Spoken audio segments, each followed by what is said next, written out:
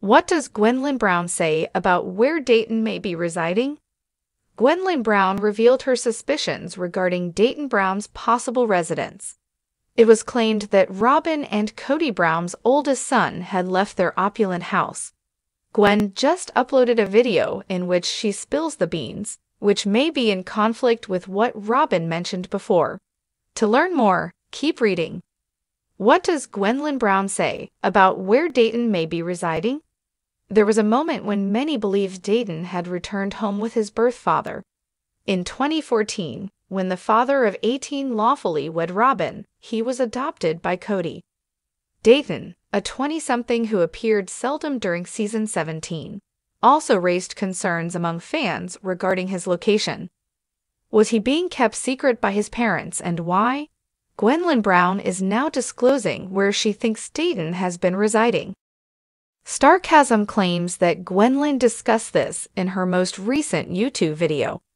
She said that she thinks Dayton could be residing outside Robyn and Kody's house in an RV. Viewers began to speculate if Dayton lived in this RV after seeing it in Sister Wives episodes. Following that, it was assumed that this was just there for production.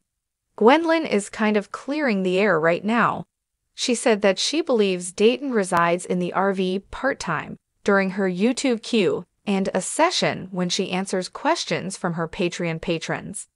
Gwen is unable to verify this information, however. Furthermore, she claims that this is eerily reminiscent of the time when Janelle's son Garrison lived in an RV next to her property.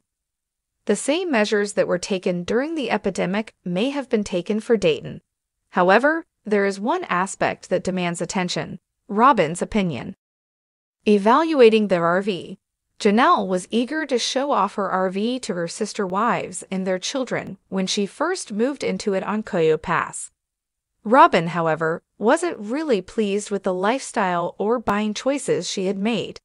I don't like trailers too much. Nobody should have to live in them, in my opinion, Robyn said. Yet in some way, her kid remains unaffected, perhaps the RV's accommodations are considerably more comfortable than what she saw in Janelle's. Gwendlyn Brown did not elaborate much beyond that, but it seems that she and her fiancé, Beatrice, are leading respectable lives in their apartment. She is a college student and supports herself via Patreon. She has a lot on her plate already since she is also organizing her wedding for July 2023. It would be interesting to see if Robyn or Dayton brought up his RV living situation.